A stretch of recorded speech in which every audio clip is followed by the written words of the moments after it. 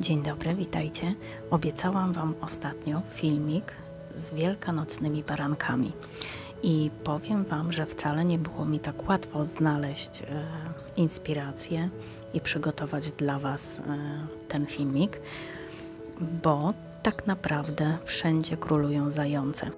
Jak się okazuje, z barankami wcale nie jest taka prosta sprawa i Obiecuję Wam, że zrobię dekorację, zrobię stroik wielkanocny z barankami. Mm, tylko muszę jakieś piękne baranki znaleźć teraz, bo mm, zobaczcie, te są śliczne tutaj koło tego wielkiego jajka. Naprawdę urocze baranki. Bardzo dużo zauważyłam, że w sklepach, mm, tak samo jak i w Pepko czy w Kik chyba ostatnio byłam, e, gdzie nagrałam ten wielkanocny filmik. Możecie poszukać na kanale to powiem Wam, że naprawdę baranki, które są w sklepach, one bardziej nadają się do dziecięcych pokoi, takie mam wrażenie, niż jako baranki wielkanocne. Jednak nie ukrywajmy tego, że baranek wielkanocny to jest symbol. To też nie może być takie przerysowane i udziwnione.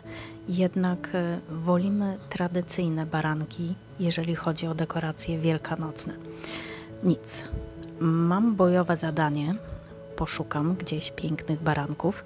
Jak znajdę, dam Wam znać oczywiście. Moja mama zawsze z, tutaj z ciasta był baranek. Moja mama zawsze e, robiła baranka z masła. Może w tym roku się uda, to Wam pokażę, jak moja mama formuje pięknie e, baranka i zawsze mieliśmy na stole wielkanocnym. I to był taki nasz baranek. Ja zachęcam Was bardzo gorąco do subskrybowania kanału.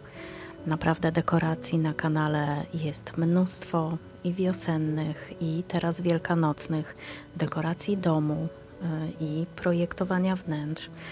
Jeżeli macie specjalne życzenia co do filmu, dajcie mi znać w komentarzu pod filmem.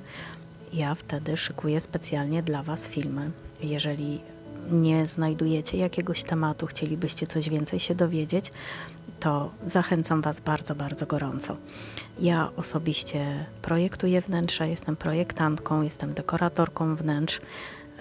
Robienie przeróżnych dekoracji to moja wielka pasja, e, więc jeżeli odpowiada Wam moja stylistyka, to zapraszam na kanał bardzo gorąco.